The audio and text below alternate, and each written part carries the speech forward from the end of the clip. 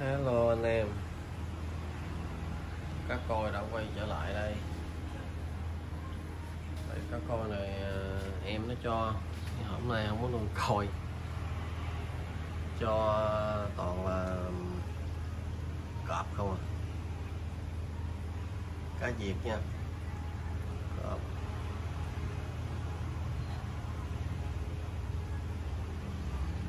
Quá dời hồ ở đây nước cũng nó trong lắm hơi đục đục.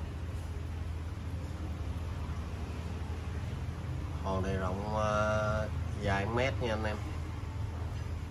Cao 50 rộng 60 này size khoảng 15 12 15 cm với 20 con bự nhất chắc khoảng 20 cm đó anh em.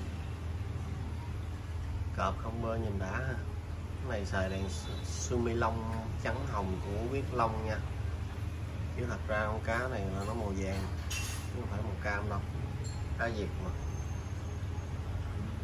Lọc thì lọc của ờ, cá rồng. Đó. lọc tràn trên của cá rồng thôi.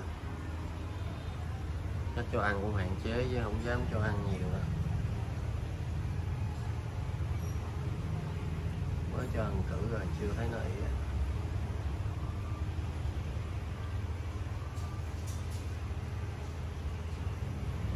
bơi cũng được, còn mấy con dễ nhát nằm dưới ờ, dưới đáy không chát lắm.